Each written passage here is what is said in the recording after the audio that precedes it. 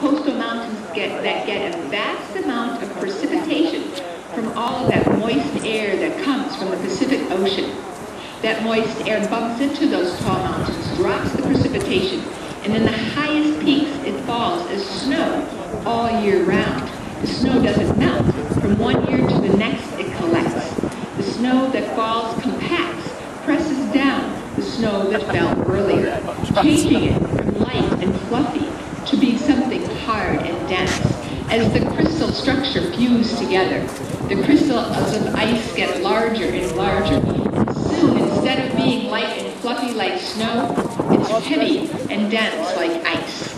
When it gets to be about a hundred feet thick or so, gravity starts to take over and the whole mass very slowly makes its way moving downhill.